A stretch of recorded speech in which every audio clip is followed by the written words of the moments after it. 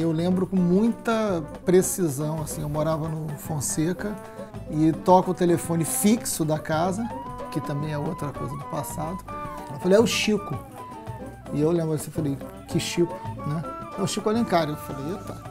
Eu falei, eu queria marcar um café com você, queria que você viesse aqui na minha casa, eu queria conversar com você, eu venho almoçar aqui comigo, moro em Santa Teresa.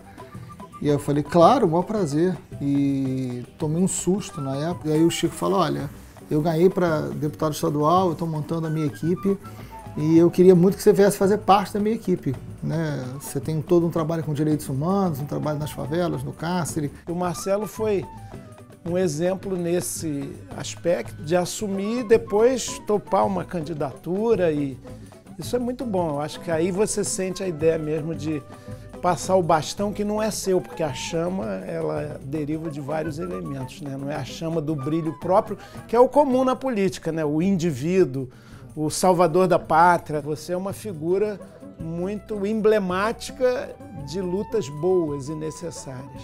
Marcelo vem aí, o bicho vai pegar. Agora, eu, Chico, estou com uma expectativa muito grande.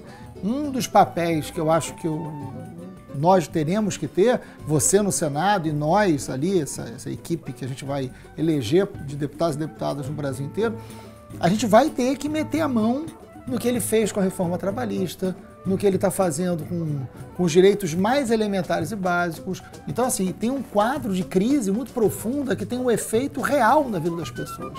Né? As pessoas estão morrendo, tem um genocídio colocado, tem desemprego, porque o, o número de desempregados é muito maior do que aparece. A gente vive um, uma tragédia social muito grande onde a luta política dentro do parlamento vai ser fundamental. E claro, a gente não faz a luta política no parlamento desvinculado das ruas. Por isso mesmo é absolutamente fundamental estar tá lá com uma votação, repito, maciça. Quanto mais voto você tem, mais os nossos adversários nos respeitam. Você quer votar em você e nos seus melhores sonhos? Tecle 5050. Marcelo Freixo, deputado federal, imprescindível na Câmara.